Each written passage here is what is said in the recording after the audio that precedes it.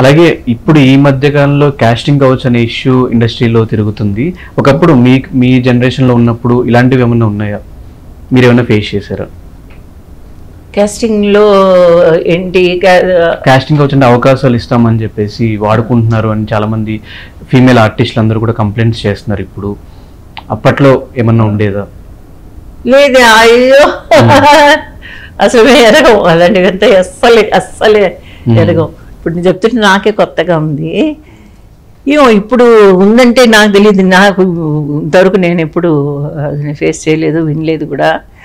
మరి అప్పట్లో ఏం లేదు అప్పుడు కొత్త వాళ్ళకి అవకాశాలు తక్కువ అంతే.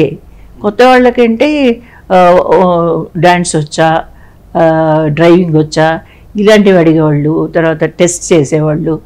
కొత్త వాళ్ళకి అవకాశాలు తక్కువ. కాబట్టి తల్లిదండ్రులు నాకు ఫస్ట్ కొత్త వాళ్ళకి ఇవ్వాలని పాపం వాళ్ళ రామ విజేత ఫిలిమ్స్ వాళ్ళు అనౌన్స్ చేశారు పేపర్లో.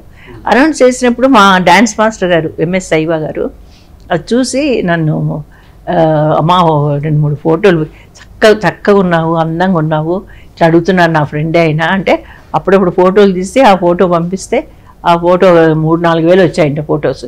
దాంట్లో నన్ను సెలెక్ట్ చేసుకుని అలాగ వచ్చాను. అంతేకాని నాకు ఎప్పుడు నాకు ఇది లేదు తర్వాత ఏమండి మనం బాగుండి మనం కరెక్ట్గా ఉంటే ఆ, ఎదుటి వాళ్ళు మనల్ని ఏమంటారండి? మన ఎదుటి వాళ్ళు మనల్ని ఏమ అడగలేరు. తర్వాత ఇంకొకటి మన ఇష్టం లేకుండా ఏం జరుగుతుంది? ఏది కూడా ఏది జరగదు కదా?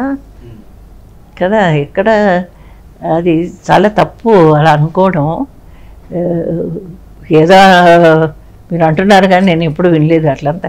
కానీ నన్ను అంటారు ఎంతమంది మీకు అంటే తమాషకు మామూలుగా అడిగేవాళ్ళు అడుగుతారు. మీరు ఎంగేజ్లో మీరు కాలేజీ చదువు చదువుకున్నారా?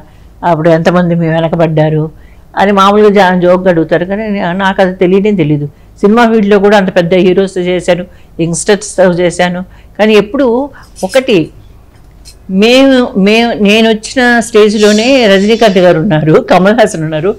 ఎవరికి వాళ్ళు పైకి రావడానికి వాళ్ళు ప్రయాసపడుతున్నారు ప్రయత్నిస్తున్నారు అలాంటప్పుడు వాళ్ళకి ఇంకొక ఆలోచనలు రావు కదా. వాళ్ళు పెద్ద హీరో అయ్యి సూపర్ స్టార్ అయ్యి ఆ, ఉలగ నాయకుని కమల్ హాసన్ గారు అయిన తర్వాత ఆ తర్వాత విషయాలు పర్సనల్ విషయాలు నాకు తెలియవు కానీ నా స్టేజ్ నా దీని వరకు అయితే నాకు ఎటువంటి ఇబ్బందులు ఎప్పుడు కలగలేదు. పాపం ఎవరిని తప్పు పట్టడానికి లేదు. అసలు ఏ ప్రొడ్యూసర్స్ అయితేనేమి డైరెక్టర్స్ అయితేనేమి ఏ హీరోస్ అయితేనేమి ఏ టెక్నీషియన్స్ అయితేనేమి ఏ రోజు కూడా నా దగ్గర తప్పుగా ఒక్కరోజు కూడా ఎవరు ప్రవర్తించిందే లేదు.